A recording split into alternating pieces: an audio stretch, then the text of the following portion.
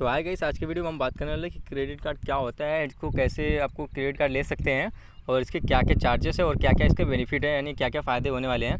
तो आपको पूरा स्टेप बाय स्टेप बताएँगे और वीडियो लास्ट तक देखिएगा, क्योंकि आप कोई भी स्टेप मिस करते तो आपको थोड़ा बहुत प्रॉब्लम हो सकता है। और गाइस वीडियो अच्छी लगी तो लाइक कमेंट शेयर भी कर देना यार, आपके एक लाइक से हमें बहुत ज़्यादा मोटिवेशन मिलता है। तो चलिए स्टार्ट करते हैं वीडियो। सबसे पहली बात करते हैं क्रेडिट कार्ड के बारे में।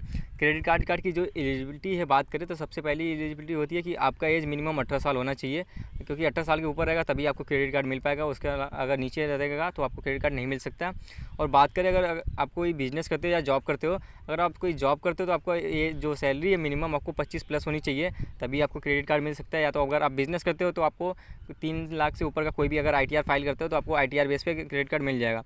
एंड चलिए बात करते हैं दूसरे टॉपिक पे। दूसरा टॉपिक जो इनका मेन सबसे हाईलाइटेड फीचर है, इन क्रेडिट कार्ड की लिमिट जो सबसे पहली बात की अगर मान लीजिए आपको जितनी भी क्रेडिट कार्ड का लिमिट मिलता है एग्जांपल आपको वन लाख मिला तो आप वन लाख पूरा यूज़ कर सकते हैं। और उसमें क्या है, अगर आप बैंक की तरफ़ से अगर एग्जांपल लोन लेते हो तो आपको हर महीने का इंटरेस्ट लगता है। लेकिन ये क्या होता है, पैंतालीस दिन इंटरेस्ट फ्री होता है। यानी जैसे कि आज आपको एक लाख का लिमिट मिला, आप एक लाख पूरा स्वाइप कर लियो, यानी यूज़ कर लियो कहीं पर भी तो इसको आपको पैंतालीस दिन बाद पेमेंट करना पड़ता है। यानी अगर एग्ज़ाम्पल आप कभी फंस गए हो प्रॉब्लम में हो तो आपको पैसे की ज़रूरत है तो आप क्रेडिट कार्ड से पैसे विड्रॉ कर सकते हो, या फिर आप यूज़ को यूज़ कर सकते हो, पूरा कहीं पर भी स्वाइप करके।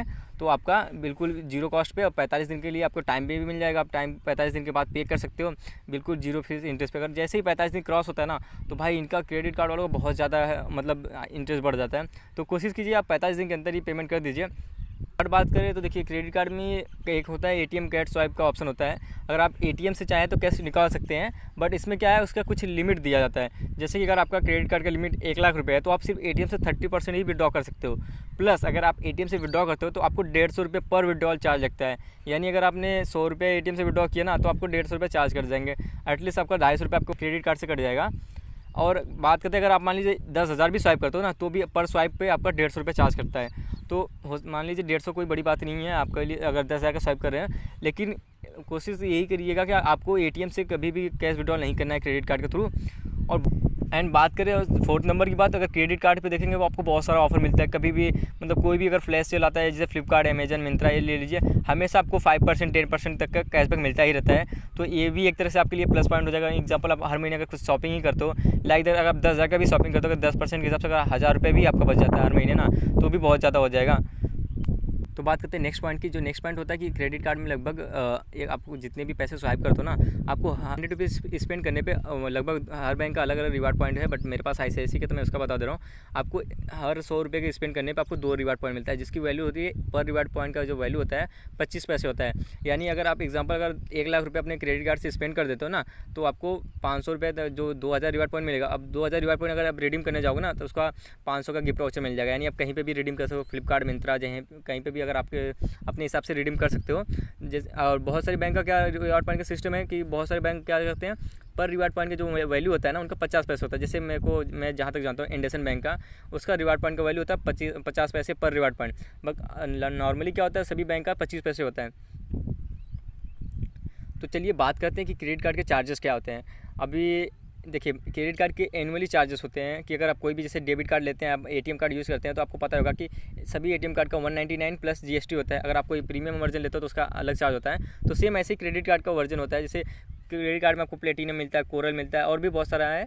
तो जैसे भी नॉर्मली क्या होता है कि बहुत सारे क्रेडिट कार्ड होते हैं जो प्री अप्रूव मिलते हैं, वो बिल्कुल आपको फ्री ऑफ़ कॉस्ट मिलते हैं। कोई भी इसका एनुअल चार्जेस नहीं होता, कोई भी इस पर रिन्यूअल चार्जेस नहीं होता है। और बाकी बहुत सारे एटीएम क्रेडिट कार्ड का क्या रूल्स होता है कि आपको 500 प्लस जीएसटी एनुअल चार्ज पे करना पड़ता है। उसमें भी अगर आपको लिमिट मिलती है, अगर आपने मान लीजिए आप एक लाख का स्पेंड कर देते हो, किसी बैंक का होता है, किसी बैंक का पचास हज़ार का ही लिमिट होता है, किसी बैंक का दस हज़ार ही लिमिट होता है तो उनके लिमिट के हिसाब से अगर आप स्पेंड कर देते हो तो आपका जो एनुअल चार्जेस होता है वेबो हो जाता है, यानी माफ़ हो जाता है। माफ़ क्या एक तरह से आपको उतने का गिफ्ट वाचर मिल जाता है। जैसे अगर आपका एनुअल चार्जेस पाँच सौ रुपये लगने वाला है तो चार्जेस तो आपका लगेगा ही पाँच सौ बट उसकी वजह से आपको पाँच सौ का गिफ्ट वाचर दे दिया जाएगा। यानी आप एक तरह से समझेंगे तो माफ़ी हो जाता है।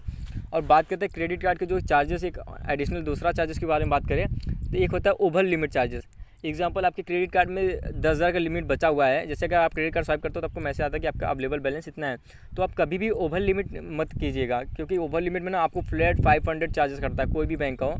या तो ये श्योर है, क्योंकि जैसे एग्ज़ाम्पल आपने स्वाइप मार दिया, आपके क्रेडिट कार्ड में दस ही हज़ार बैलेंस पड़ा हुआ है। आपने स्वाइप मार दिया दस हज़ार एक रुपये। तो समझ रहे आपको बहुत ज़्यादा नुकसान करने वाला अगर आपका पाँच सौ रुपये चार्जेस कटेगा और बात करें क्रेडिट कार्ड आपको लेने के एक और ही सबसे मेन प्लस पॉइंट होता है। जैसे कि एग्जांपल आपके पास एक क्रेडिट कार्ड है, आप उसके अगेंस्ट में दूसरा क्रेडिट कार्ड ले सकते हैं।